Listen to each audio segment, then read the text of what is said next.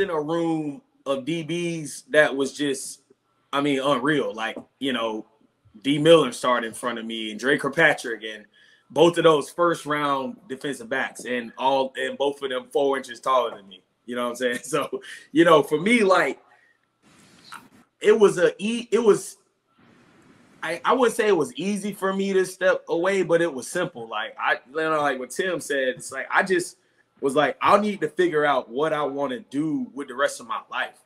Mm-hmm. And football, you know, for me, even though we did win those two national championships there, like, bro, I wasn't I wasn't contributing on a level that it, you know, where I was like, man, I can make something out of my football career.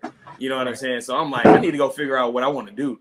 And when I when I had a you know brief conversation with coach, I was like, Coach, I, I need to go figure out what I want to do with my life. I was like, I got some dreams and some things I want to consider. And I, I feel like taking this next year off and figuring that out um, is what I need to do.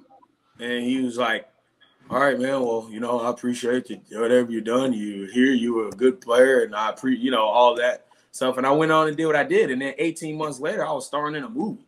Mm-hmm. And so it was like, if I had not have I was gonna do what I wanted to do either way, whether he, you know, Coach Saban or my dad or whoever had a been in opposition, I would have just been out there doing what I got to do because my business is a one man show, bro. It's like, you know, mm-hmm. it's up to me to be proactive and and seek out these opportunities. And so, um, but I, I initially didn't know I wanted to be an actor.